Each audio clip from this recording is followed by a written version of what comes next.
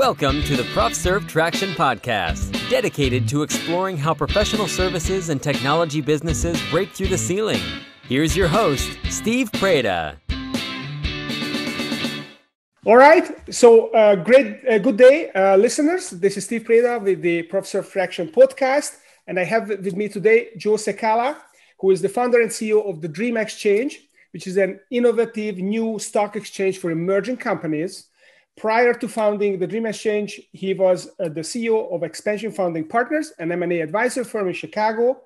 Uh, before that, he was an attorney working on capital raising and M&A deals uh, with Cecala Law offices, also in Chicago. And Joe graduated from Loyola University in uh, accounting, and he got his law degree from DePaul University College of Law. So, welcome to the show, Joe. It's so nice to be here. Thank you for having me. That's great to have you. So uh, please tell me, Joe, how does one become from an attorney, uh, a stock exchange founder, owner, CEO? So, uh, yeah, the, the, the tra- transition of my life. So um, my, my experience in the capital markets uh, really provided a lot of the input, but um, stock exchange specifically is um, I was the lawyer for the founders of, of what became Archipelago.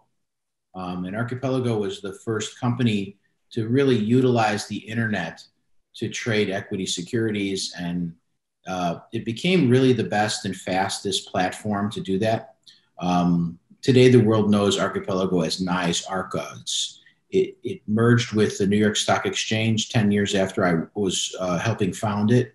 And uh, my former client, Jerry Putnam, became chairman of the New York Stock Exchange. So it's a little obscure. There are only seven stock exchanges that exist in the country today. So it's not every day that a person is there to create or be at the founding of a stock exchange. So I have that experience. It's, it's quite unique. And I use that throughout my career as the backdrop for creating what is now the Dream Exchange. I, I used my law practice in, in uh, small capital deals, and I used my M&A advisory firm to do the research for eventually trying uh, my hand at creating a second stock exchange, which we're in formation now. Well, that's very interesting. And particularly, I, I personally am very curious about this because I started life uh, as an M&A advisor as well. And I, uh, you know, I've uh, spent a lot of time uh, racking my brains how I could get mid-cap companies onto the stock exchange. And London had uh, a program for smaller companies, but even that was prohibitively expensive for like mid cap companies under 100 million dollars. Um, I wonder how that how that how how you found a way to do that. Can you uh, tell us a little bit about that?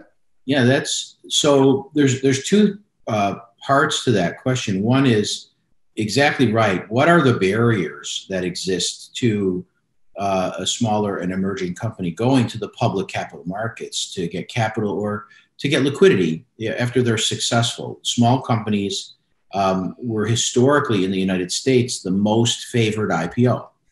So there's the research. Our, our research showed that we first we had to disco- discover whether there was in fact a problem.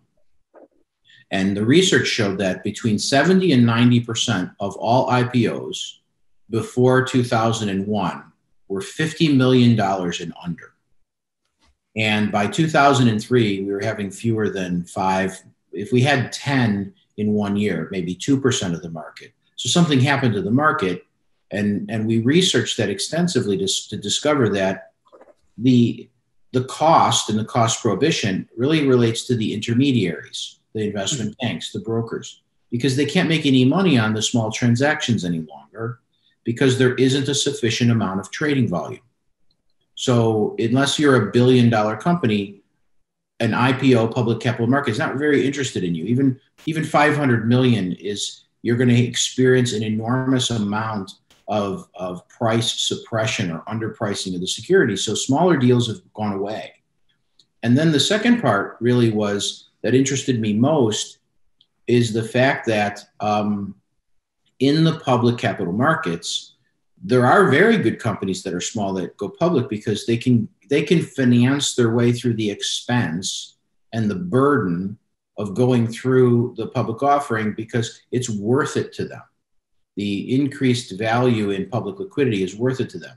Mm-hmm. What I did was I took my M&A practice research and the capital markets research and I merged it together so that we can streamline the IPO uh, application process and we can use the tools, the new tools like direct public offerings to reduce the cost and to reduce the banking fees.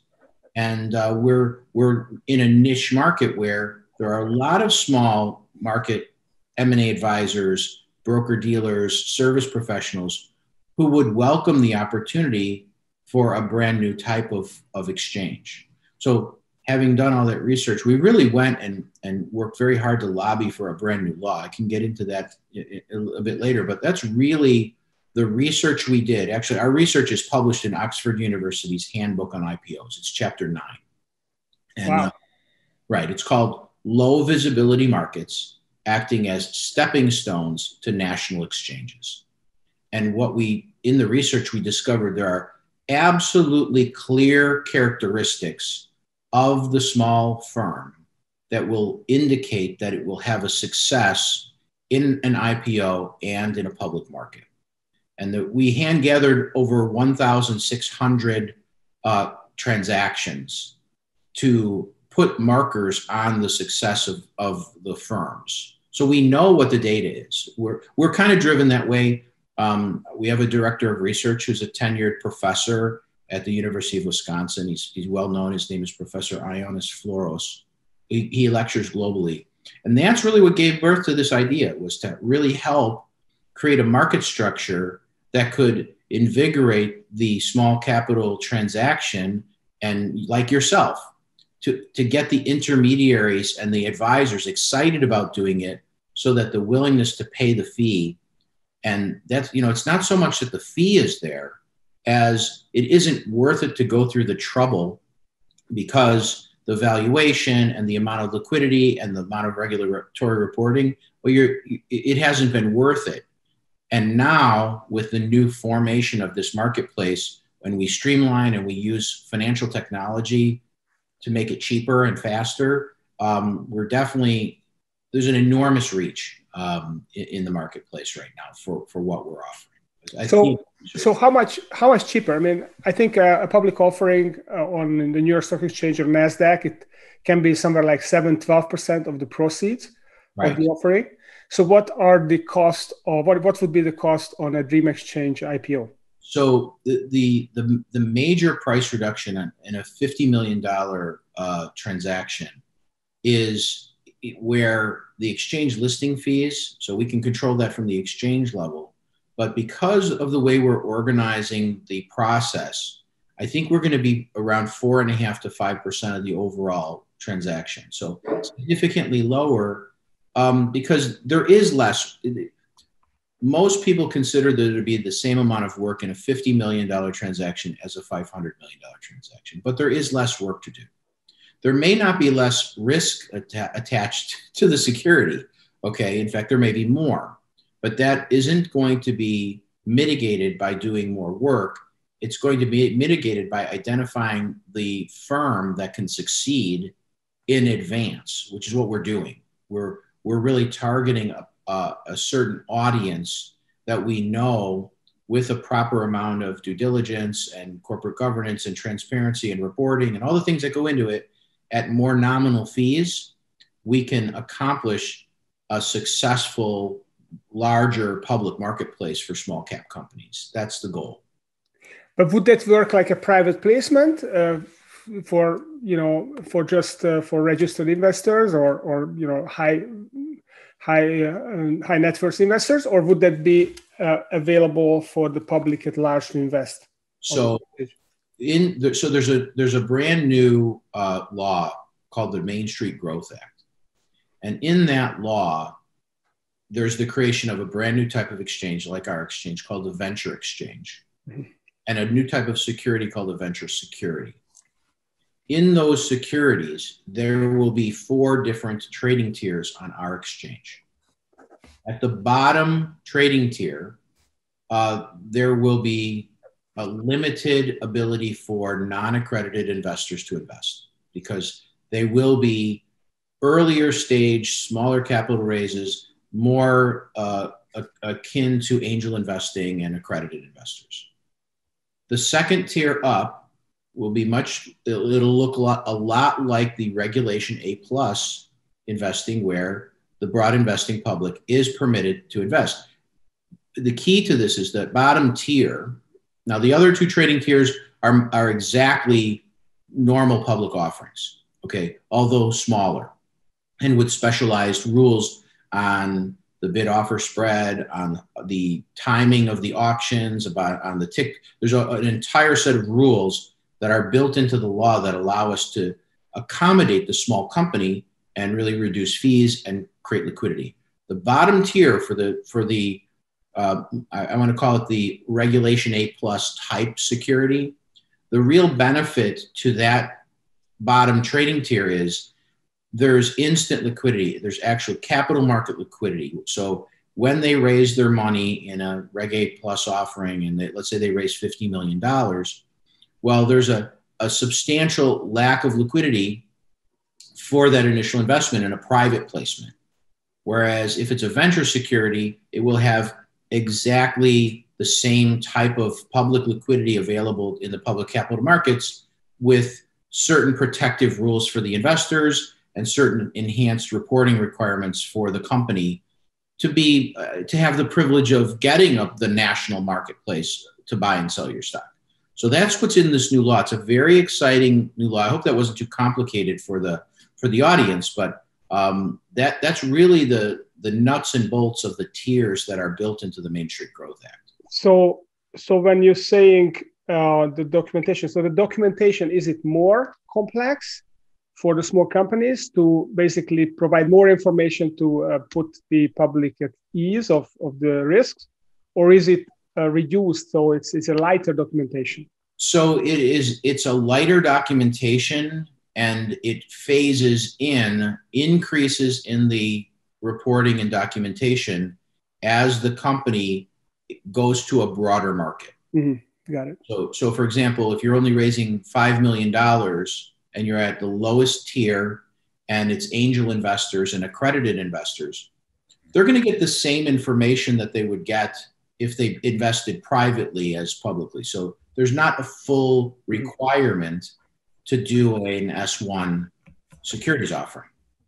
But after you graduate and more of the investing public, the general public is available to, to invest in that security, then the reporting requirements are increased until they can graduate, like our research, mm-hmm. the low visibility market. And as we incubate them and grow them, they can become more compliant with the full securities laws. And it's worth it to spend the money because now they're in a marketplace where the liquidity and the enhanced capital yeah. and pricing is, is available to them.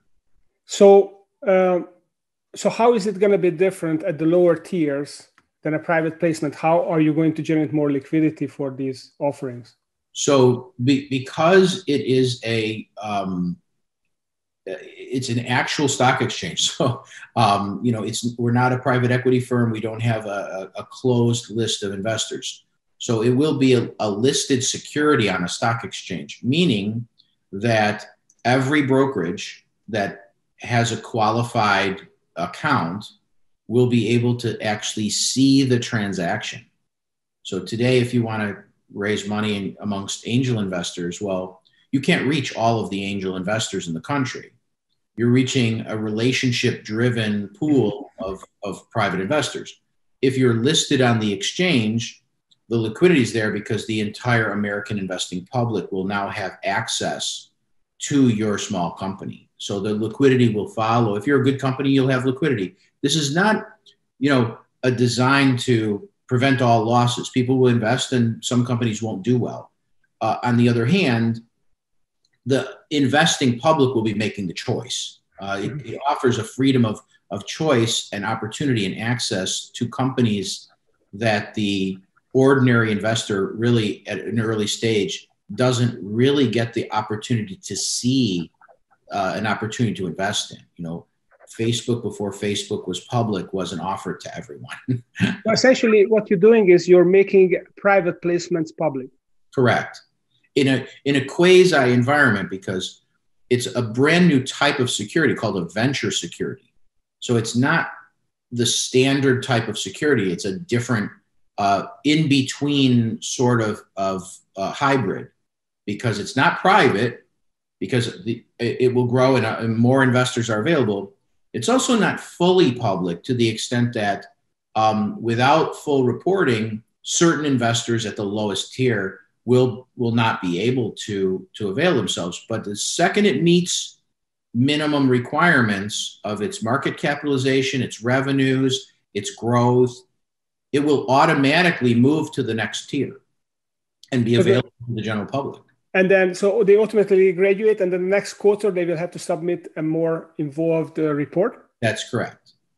That's correct. And we have training processes. This is the important, the tools we're already using today, even before we're open. Um, we have educational tools that prepare them for the type of, of financial forecasting and earnings reports and, and um, management discussion and analysis reporting that is the demand on a public company that most private companies don't have familiarity with. The CEO is busy developing the company. He's not going to become a securities professional. We're taking care of that. We're there to help them because the, the more successful companies, obviously, the bigger our exchange. Um, so it is a very unique, brand new paradigm shift in the way. It, it may not be for everyone. I, there's often I get into discussions where everyone wants to fit some new company into this box not every company will want to do this. Some companies will want to remain private. Some companies will want a full public offering. But there's a we we already know by survey that there's an enormous population. There's probably um, uh, that that we can target. There there may be as many as a million, 1.3 million companies in the United States that are that would be eligible. Okay, we only need a couple thousand. okay. Um, so, you know, a very small percentage is all they're already interested. Interestingly enough, is another kind of a branch of this question. We've received extremely favorable responses from hedge funds, venture capital uh, portfolios, and private equity portfolios because they have good companies. Mm-hmm. Many of those companies they would have to sell the entire portfolio or the entire company. And this offers them an opportunity to recapture some of their liquidity with their successes, reinvest in their fund, and simultaneously bridge a gap towards a, a public offering that they may have to wait five or seven years longer to experience. Mm-hmm. So it's a very, it's been very favorably received. Um, the American uh, Venture Capital Association actually testified in congressional hearings saying we think this is a great idea. Um, many private equity firms have approached us. There are uh, incubators of, of, um, of VC money that have come and said, we have 500 companies in our incubator. We can see 200 of them being immediate listings. So very interesting liquidity. It, it's it's liquidity that does not exist in the market. So um, I guess I guess it will also allow the private equity funds to value their portfolio because if there's a public uh, quotation for the stock, then it's much easier to value these companies and probably value higher. Precisely, precisely. So, do you feel like this could create a competition for private equity funds? Because right now, um, at you know lower levels of the market, it is either them or trade buyers who mm-hmm. can potentially buy these companies. But if, if I can take them and do an IPO and maybe keep control, don't have to recapitalize with a private equity fund, don't have to give up control. I could just uh, do a minority offering and take some chips off the table. Yes, I, th- there'll be a th- there will be a percentage of companies that uh, will it will be a one to one direct competition for um, the successful company that ordinarily doesn't have a large enough capitalization or valuation to go public and really has only one market to go to they have to sell to a private equity uh, buyer so yeah that there will be a sliver of what we're doing that is competitive that way it, it may not necessarily be as competitive because a lot of those firms and we've talked to many firms it's it's 14 years of research. Many of those firms are in a life cycle where they would actually prefer to cash out. They would rather sell to the private equity firm. And so, um, but you know, for a long time, the, what they call dual track IPO private equity, yep. uh, the, we would we would definitely provide a certain amount of um, access to bringing them along on that dual track to find out valuation and they'll either exit or they'll they'll go venture so we're hoping that the, the nomenclature will be not go public but do a venture offering so yeah i, I think that's going to be a phenomenon uh, it's a brand new marketplace you know we, we'll find out That's interesting. So, what is the ideal uh, size? You mentioned the $50 million company would cost them about 5%, four and a half to 5%, two and a half million. Mm-hmm. So, is this kind of a fixed amount that uh, it will cost to list there? So, there's kind of below 20, 30 million, it's going to still be prohibitive? What is your I, expectation? I, I think are, are really the, the majority of the this tier will be uh, between 20 and 50 million dollar offerings and we're expecting that uh, commensurate valuations. In other words, um, because of the small size and the usually the people who want to do this need the liquidity, they need capital, and they're hoping for a, a higher valuation. So I suspect the valuations to be somewhere between 60 and 150 million uh, so there, because the entrepreneur wants to hold his own securities yet get liquidity. So the ownership structure is likely to give them the liquidity without having to relinquish, um, you know, so much of a dilutive effect as they would in a in a in a traditional VC or private equity transaction. So they can mm-hmm. hold on to a bit more of their own creativity and wealth and and harvest their wealth for themselves a little bit better. So if you say 60 to 160 million valuation, is I think what you said. So in terms of EBITDA uh, terms or net profit, uh, what kind of multiples do you expect here? So would so, that be a 60 million? Would that be an 8 to 10 million dollar profit company? Hold, or hold on to your seat. So we actually, um, we have our internal measurements on valuation in that market. And very often we may have um, negative or, or zero multiples because, you know, and I've been using the model like look, Tesla Motors didn't didn't have EBITDA in, uh, until second quarter of last year, but they've you know the, they're the largest electronic or the largest auto manufacturer in the world. So what we're looking for are, are the companies that, and many of these have historically actually gone public. For example, the biopharma industry, uh, they'll do a public offering. They have no earnings. Some of those companies are in phase two trials at the FDA mm-hmm. in the hope that they're going to be a billion dollar valuation. They go to the public markets, they raise money, they have no EBITDA, they have no earnings. All they have is capital in and capital out so I think that we're, we're going to see a, a, a, large percentage of companies that are beyond the startup phase.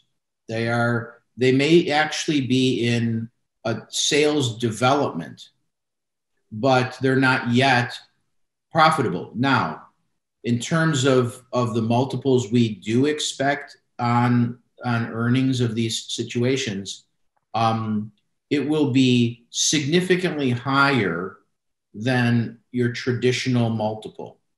So even if you, for example, uh, you know, when WebEx they, they, they sold and they became the platform for Skype, they, they, they didn't have EBITDA. They had 100 million in sales. They sold for 32 times their sales. So the alternative valuation, you know, 3.2 billion dollars for a company that really wasn't profitable, but the use of the technology for another firm is is so tremendously valuable that they can go in a public setting and look at a comparable earnings multiple and see ah this is accretive value and the longer the company's able to sustain its capital and the longer we offer those opportunities to the general marketplace the more the average investor can experience the expanded wealth so what's far more important is the, the increase in valuations by meeting milestones than meeting earnings expectations. That's really how the traditional early stage company gets all of its investors. We're just doing it in a, in a public setting. Um, I do expect multiples to be significantly higher. Um, you know, and, and and and earnings multiples. I love the I love the platform, the PitchBook platform. They're a wonderful database, and they're very accurate. They capture most of the private equity market, and they come out with their quarterly multiples as to what's happening. And um, I expect us to be a bit more mirror image of what PitchBook does. So, you know, 12 and a half multiples to 15 multiples are not uncommon with the companies that they're reporting because the multiple is less important as as is the intrinsic value of the company and maybe it'll be an acquisition uh, someday but they're getting a market valuation on their securities that enhances their bargaining power with future um, you know large purchasers is there a minimum limit is there a minimum limit that they have to sell in order to qualify so this is now inside of our rule book. Um, there will be, uh, but I, I until we publish the rule book, I, am not being evasive. I just can't commit. Um, but there will be, yes. They, they, they, we will not have. Um, generally, we will not have companies, with rare exception, that are in quote unquote prototype phases. Uh, we we have to have a an organization that is making sales and has a, a completed product. It's not so early stage that they're in development. Now, there will be industry pools that we're creating, as like the old New York Stock Exchange had market specialists. As we develop the exchange, we will be developing the market specialist pools. There, we do plan to do a, a biopharma market specialist pool the parameters for listing a biopharma company will be different from a Midwest manufacturing company um, because they have they have a longer wait. And each company, this is the beauty of the new law. We can customize the listing for each company. So what about what about the proportion of stock sold? Is there going to be a minimum, like less than ten percent of this of the stock would not qualify for listing? or there isn't there there is there are go- there's going to be corporate governance restrictions and there's going to be much more extensive rules on uh, insider availability rule 16 is going to be much more extensive so the responsibility for running the company and and and holding periods and uh, lockup periods there'll be significant restrictions on the owners of the company to avoid pump and dump um, and to avoid the abuses of what is the over the counter market. So, yes, there will be minimums, absolutely. Mm-hmm. Okay, that's that's interesting. So, um, so who are the competitors of, of this stock exchange? I, I presume this law is not, uh, you know, you don't have a monopoly on on uh, operating under it, and uh, there are other players here that try to take advantage of it, or may have even lobbied for for it to happen. Yes. What do you see out there? So um, right now we're aware of one direct competitor, and we're collaborating, believe it or not, uh, and that's the Nasdaq. Mm-hmm. So the Nasdaq has has collaborated with us. Uh, they've lobbied for the law side by side with us.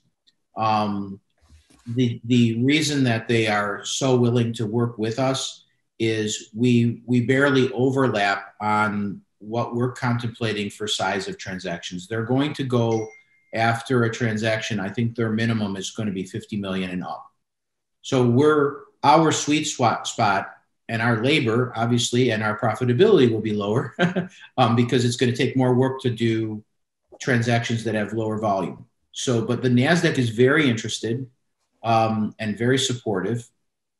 We've met with the other uh, exchanges and the, the, so for example, the Chicago Board of Options Exchange um, they don't even have rules that allow them to do any IPOs at this moment.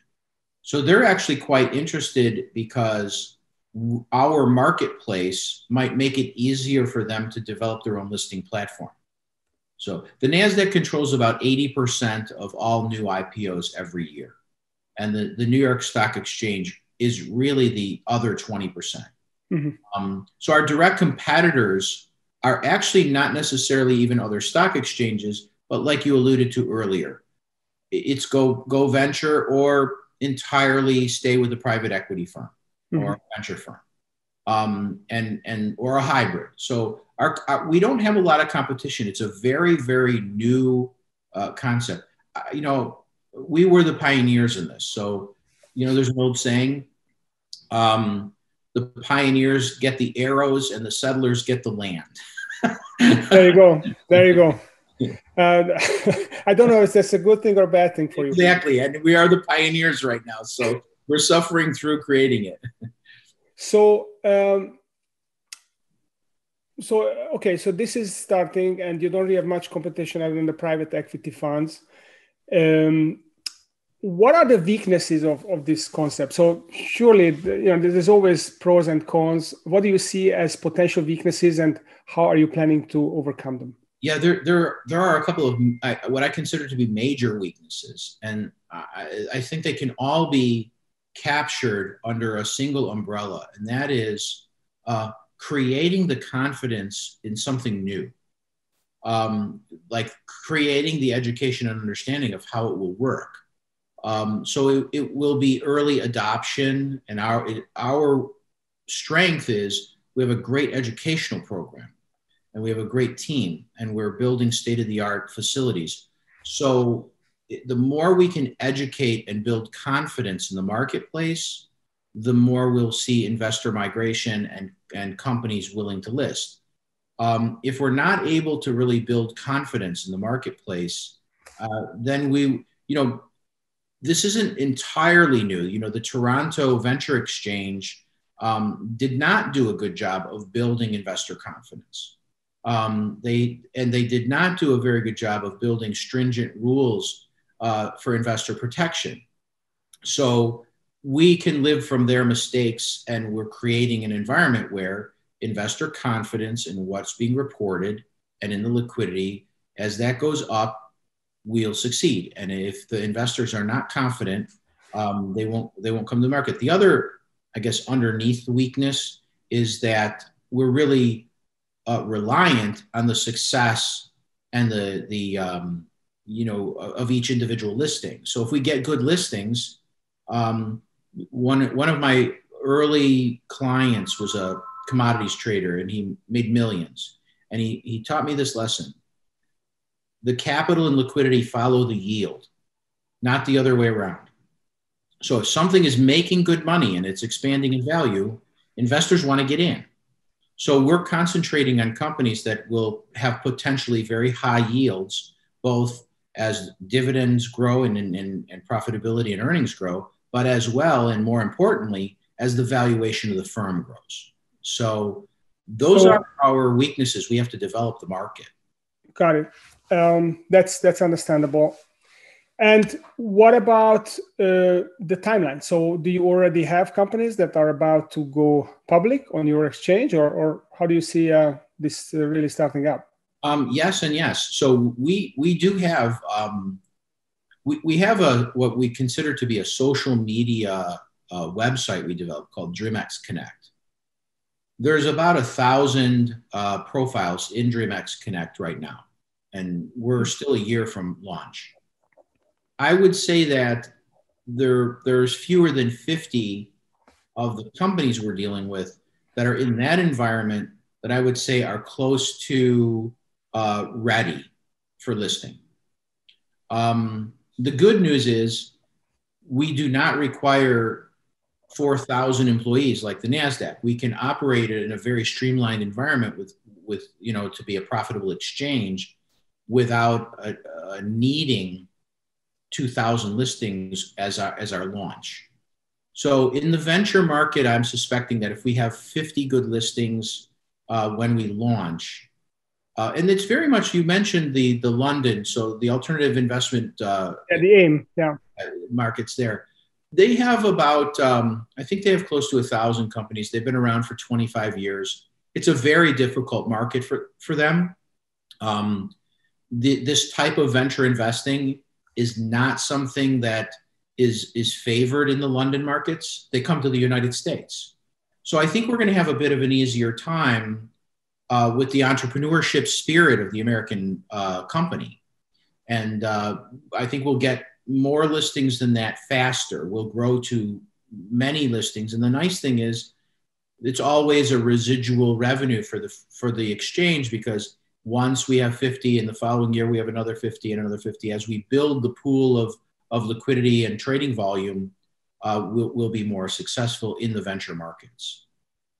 So it's going to be critical i guess that the first offerings going to be successful because yeah. if you had a failure at the beginning that would be really difficult to overcome right? Yeah and that that's, that goes back to what i was saying about confidence. It's it's interesting because I've been in, I've been going to Congress now for five years, and there are certain congressional leaders who say you have to protect the investors. Uh, the, the, we want stringent protections, um, and uh, that's going to be very hard for you because the investor protection obstacle is high. And then I get the I leave the Congress, and uh, I get the investor perspectives, which is, you know, you really have to have something that I see is going to be very valuable. I'm willing to take risk, but we have to know that uh, you know the firms are going to be growing very fast. So you know it's sort of like it depends on the audience I'm speaking to. One person is more interested in uh, you know slowing down the investment opportunity because they're worried about people losing money. I mean the reason the Securities Exchange Commission exists is investors lose their money. If no one ever lost their money, we would need no regulations. so there's a validity to that. The other side is the investors are they're hungry. They have an appetite for investing in uh, companies that will grow in value and appreciate their stock price. So we have to balance those two things, and I think we're doing a very good job of that. Certainly, the Congress has reacted well. We had unanimous consent. I don't know if you can appreciate that. Um, 435 members of the Congress voted yes for this bill two years ago. We, we had COVID and the problems. It's not passed only because of that. But you know, to get a Republican and a Democrat to agree that water is wet is is a difficult task. But we have fairly bipartisan unanimity support for this is a necessary market in the American public because they all the solutions Congress can come up with involve putting a burden on the taxpayer. Yeah, no, that's definitely sounds very special. So, what do you suggest if uh, I'm an entrepreneur, I'm growing my company, I have 20 million sales revenue, I make some money? Uh, how do I go about exploring this uh, opportunity? So, so today, the, the first great step that everyone seems to be taking is going to DreamX Connect. And we have a menu driven profile of the company that already begins the process. And they, it's actually a bona fide social media. So we have investors, we have intermediaries, they have their own profiles and begin the process of, of exploring the communication so that you can met like like LinkedIn, the companies can search for investors and intermediaries. The investors and intermediaries can search for companies even today. We've had successes even before we're open. Um, uh, one company just had found a strategic investor. Um, their management teams married up nicely. They're going to get some money, and that's okay with us. It's we earn nothing for that. It's a free website. Um, so the first step today would be get your profile in and begin talking with our senior management to see what are the necessary steps you'll have to take between now and launch to prepare yourself if you're truly interested in, in getting listed. What if i want to keep my privacy? I want to you know explore whether it's even feasible for me to be there and i don't want to let the whole world know that i'm thinking about this before i know that it makes sense and i really want to do that. Well that, that's what dreamx connect offers. So there is no requirement on dreamx connect. Uh, you the company has complete discretion as to how much of the of the information they populate. So if you just want to have your website and certain uh, industry characteristics and keep everything private, fine. Um, as you go along the process, if you realize, oh, this is really going to be for me, at that point they will be in, and this is after launch, they'll be in the confidential um, cycles, exactly like the public markets. So, you know, the uh, emerging growth companies are allowed to file confidential documents to test the market. And we will have exactly the same feature. It's just a feature available to a small company that is not available today because the way the small company tests the market is they have meeting after meeting after meeting with private equity firms to to do valuation discovery.